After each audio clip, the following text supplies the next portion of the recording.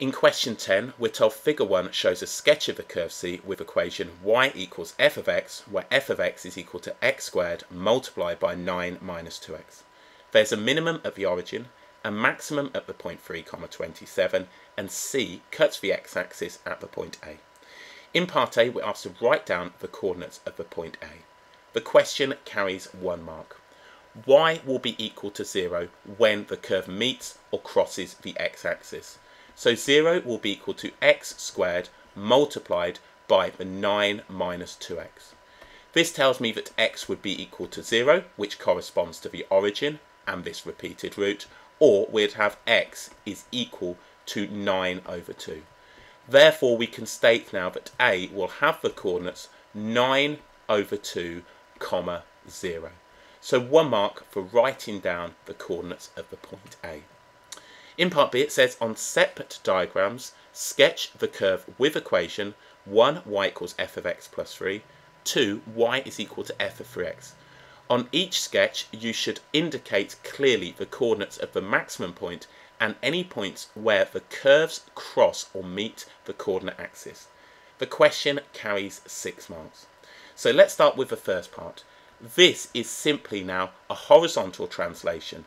So we've got now a vector of minus 3 comma 0.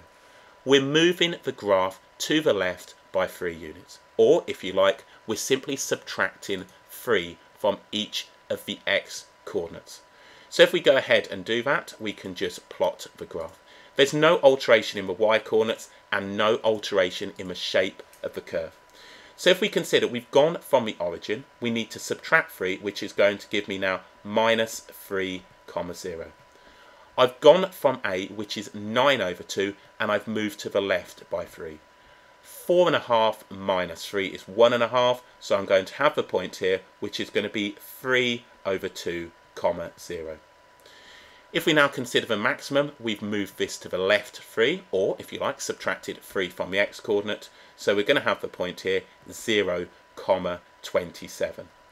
All we need to do now is just draw a quick sketch. No alteration in the shape repeated root at minus 3, 0. We've got our maximum at 0, comma 27. And we've got the point of intersection with the x-axis at 3 over 2, comma 0.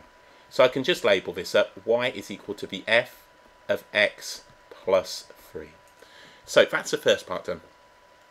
In the second part, we need to do f of 3x. For this part, we're going to divide the x coordinates by 3. So we're going to have now a scale factor stretch of one third in the x direction. So divide x by 3. So if we consider what we've got, we've got the points 0, comma 0, we've got the point 3, comma 27, and we've got the point 9 over 2, comma 0. If we think about this one right here, all we're doing is dividing the x coordinates by 3. So that will be 0, 0, this will become 1 comma 27 and this now dividing this one by 3 we're going to have 3 over 2 comma 0.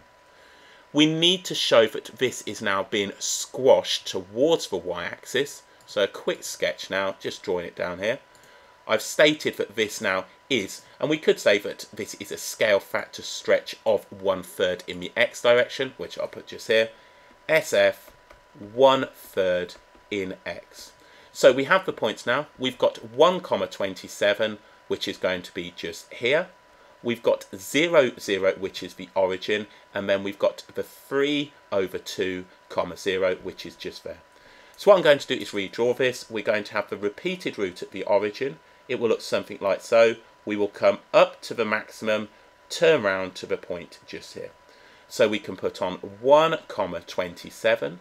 We can have 0, 0, and we can have 3 over 2 comma 0.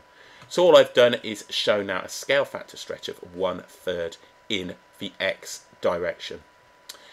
We're now told the curve with equation y equals f of x plus k, where k is a constant, has a maximum point at 3 comma 10.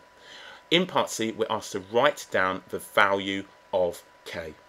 If we just look at the f of x, this is simply now a vertical translation and we can state that that vertical translation will be 0 minus k. So we're moving downwards by k units. If we think about this now, we've got this maximum point at 3 comma 27. So I would have needed to subtract 17 to get to 10. Therefore, we can state that k will be equal to minus 17. We simply pick this graph up and we've moved it down by the 10 uh, to the point 3 comma 10 which means we've moved it downwards by 17 units so k will be minus 17